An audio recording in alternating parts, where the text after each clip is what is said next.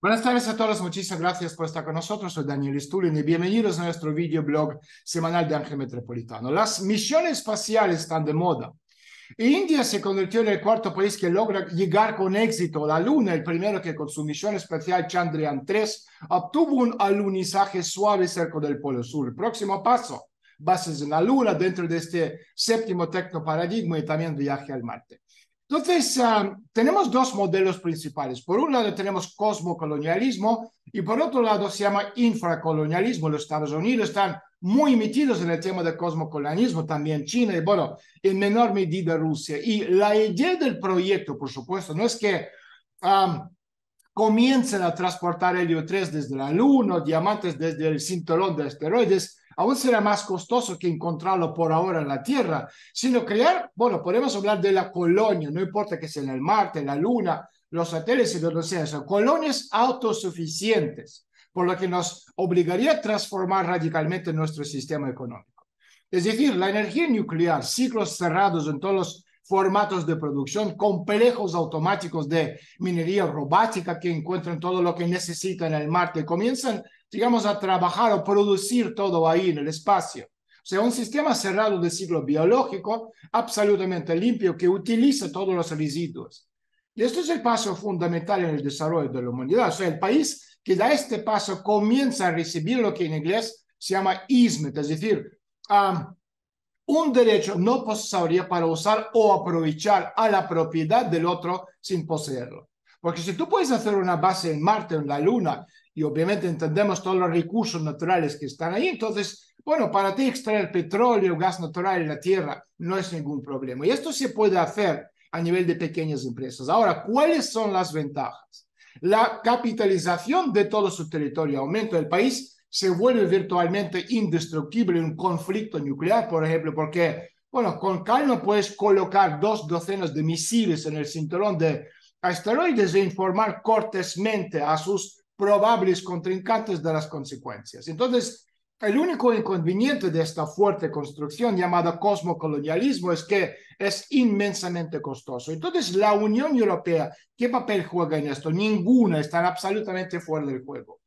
Tienen un puerto espacial de Kourou en Guiana francesa, pero es muy lejos y también muy inconveniente y no resuelve ningún problema de la Unión Europea. China tiene sus propios cosmódromos. El problema es que a nivel del desarrollo es de nivel de la Unión Soviética de los años 70, pero bueno, no obstante, algo es algo. Estados Unidos y Rusia tienen su propia experiencia, incluidos los cohetes de propulsión nuclear. Entonces, el proyecto Tierra-Luna-Marte es problema de infraestructura y por eso el proyecto más probable para un futuro próximo es trabajar con infraestructuras. Y hay un concepto interesante que, bueno, podríamos examinar, que um, que la infraestructura no debería pertenecer a un territorio separado, sino a toda la humanidad. De esto hemos hablado hace un par de semanas en, en la ronda de preguntas y respuestas en mi canal de televisión, Medio. Y esto, por cierto, requiere no solo una reestructuración completa del modelo económico del mundo, sino también un cambio completo de las leyes mundiales. Y debería parecer un sujeto de derecho como la humanidad. No está hablando de la ONU, no una organización internacional, sino la humanidad. Y la infraestructura en proyectos de infraestructura se entiende de manera bueno, podemos decirlo extremadamente amplia. Esto no son solo carreteras o puentes, viaductos, gasoductos, etcétera, sino también grandes centros eléctricos, cualquier red informática, navegaciones por satélite, comunicaciones, toda la infraestructura de espacio cercano, incluidos los cosmódromos, etcétera, etcétera.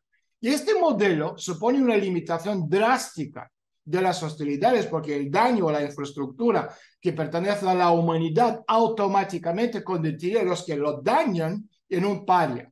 Y eso es un proceso que cambia las reglas del juego a nivel planetario. Entonces, en ese sentido, existe una oportunidad real que los territorios que hoy se encuentran en un estado de, digamos, de explotación uh, política, económica, social, podrían convertirse en menos de 100 años en lugares más desarrollados del mundo. Concretamente estoy hablando del continente africano.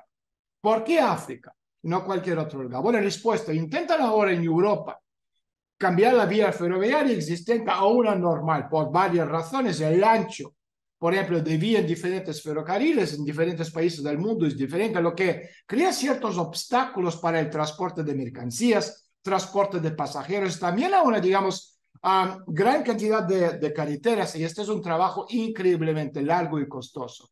Entonces los ingenieros han estado tratando de hacer pistas eficientes de ancho en Europa desde, bueno, desde el siglo XIX este proyecto nunca se ha implementado. Por el contrario, en África tenemos nueve o diez vías de uh, ferrocarril estándar, y todos en un estado absolutamente deplorable y todo esto debería ser reconstruido. Y si vamos reconstruyendo todo de cero, bueno, puedes hacer lo que podríamos llamar el corredor de infraestructura desde el principio, o sea, carreteras, a ferrocarril, redes, comunicaciones por satélite, centros educativos, sociales. Es decir, estamos creando un corredor del desarrollo, mejorando la vida por kilómetro cuadrado de espacio contra la naturaleza. Y si hacemos, por ejemplo, cinco de estos corredores en África, bueno, tendremos la mejor conectividad de infraestructura del mundo y está claro que el capital iría ahí de forma inmediata. Además, estos carreteras, estas vías no son propiedad de los políticos africanos o de los transnacionales, sino de la humanidad. ¿Se trata de qué? Se trata de bien común.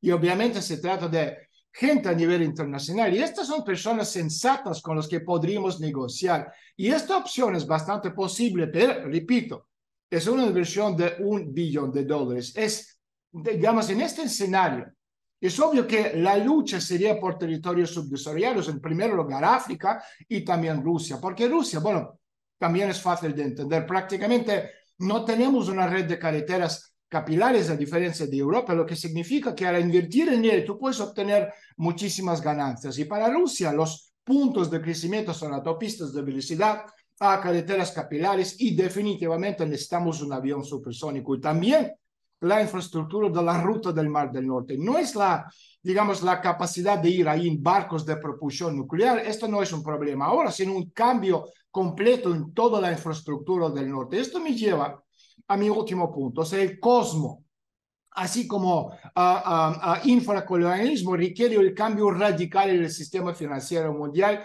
Y obviamente, repito, estamos hablando de muchísimo dinero, porque estos proyectos no darán ninguna ganancia o retorno sobre el capital en 4, 10 o 15 o 20 años. Estamos hablando de invertir para recibir las ganancias de aquí a 100 o 150 años, después del cual, repito, obtienes un paso al desarrollo colosal. Pero necesita una infraestructura financiera, sobre todo infraestructura y instrumentos financieros que te permiten vivir durante estos 100 o 150 años. En estos momentos no existe en el mundo. Déjame explicarlo.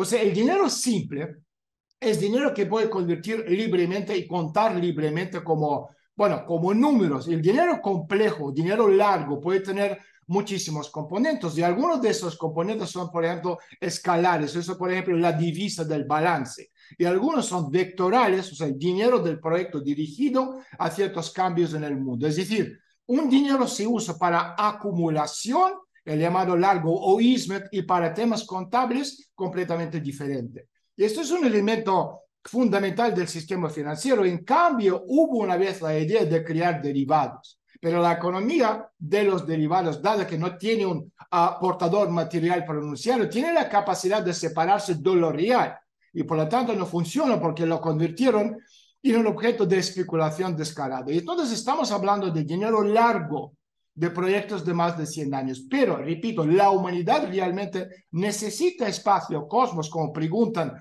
algunos diciendo que antes de explorar el espacio deberíamos primero arreglar planeta Tierra. Bueno, es una visión cerrada, obtusa y también contraplacista. ¿Qué aportan las imágenes de galaxias distantes, además de placer estético, preguntan otros? La respuesta, el espacio es política. Estados Unidos la ha convertido en una necesidad política intrínseca, incluso si nos vamos a la astropolítica, aún permaneciendo atados a la Tierra muchísimo tiempo. Entonces, podemos construir colonias en la Luna o el Marte, pero estas serán colonias de solo cientos de personas. O sea, entonces la pregunta, ¿verdaderamente hemos ido al espacio? Y no lo digo en el sentido de teorías de conspiración que habla tierra plano, que el hombre nunca llegó a la luna, pero en comparación con miles de millones de, de personas que viven en el planeta Tierra, esto no importa mucho que son 100 personas o más a lo largo de la historia han ido al espacio. Pero la comprensión de que la Tierra deja de ser completa, pero se convierte solo en una parte, cambia enormemente la imagen del mundo. Entonces, en ese sentido, Estados Unidos hace esto debido a esta necesidad de un cambio ontológico en las personas, cambia la metodología, la ideología de su parte de la humanidad.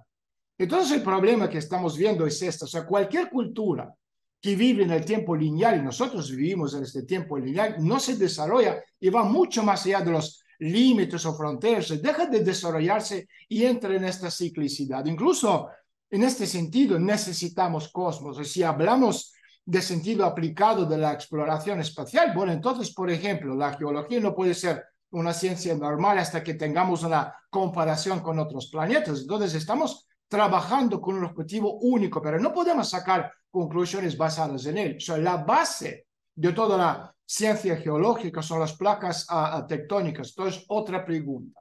Otros planetas también tienen estas placas tectónicas. Es una característica solamente del planeta Tierra. Por lo tanto, el cosmos, repito, es importante para nosotros como la única oportunidad para esta reflexión planetaria. Entonces, estamos realmente hablando de un nuevo paso del desarrollo civilizatorio. Con esto terminamos. Soy Daniel Esturi en nombre de Ángel Metropolitano. Gracias. Hasta la semana próxima. Adiós.